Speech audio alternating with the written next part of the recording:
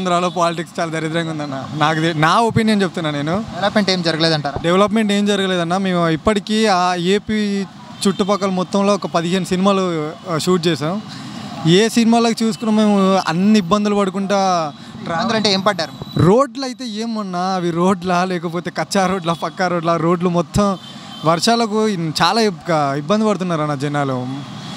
Normal people రైతులైనా కూడా normal people అయినా కూడా జాబ్కి వెళ్ళే వాళ్ళైనా కూడా రోడ్లు అయితే అస్సలు బాగాలేవన్న. రోడ్లు మాత్రం చాలా మటుకు ఏపీలో ఎక్కడ చూసుకున్నా చాలా ప్రాబ్లం ఉన్నాయి రోడ్డు వల్ల.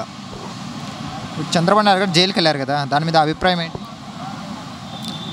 ఇప్పుడు కక్షపూరితంగానే పంపించారు అనుకోవచ్చు మన వైసీపీ గవర్నమెంట్ అధికారంలో ఉన్నది కాబట్టి టీడీపీ పార్టీకి టీడీ చంద్రబాబు నాయుడు గారు అరెస్ట్ చేశారు. ఇప్పుడు టీడీపీ వచ్చినప్పుడు కూడా వీళ్ళది కూడా అంతే జరుగుద్దన్న. వాళ్ళు చేశారని వీళ్ళు సైలెంట్గా ఉండడానికి వీళ్ళు చేశారు కాబట్టి వాళ్ళు వాళ్ళు చేశారు కాబట్టి వీళ్ళు. మధ్యలో ప్రజలు ఏమైపోయినా పర్లేదంటారా? ఒకటి చెప్పేది ఏంటంటే వాళ్ళు వీళ్ళు అనుకుంటారు వాళ్ళ వాళ్ళ అర్థం కాదని. వాళ్ళు వీళ్ళకి అర్థం.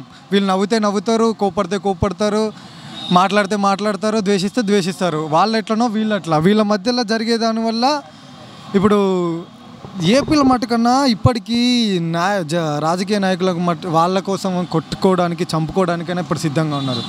వాళ్ళు కొట్టుకోవడానికి చంపుకోవడానికి మధ్యలో వీళ్ళు వీళ్ళు యుద్ధాలు చేసుకుంటే చనిపోయేది నార్మల్ ప్రజలే అనేది అక్కడ మినిమం అవగాహన కూడా లేదు.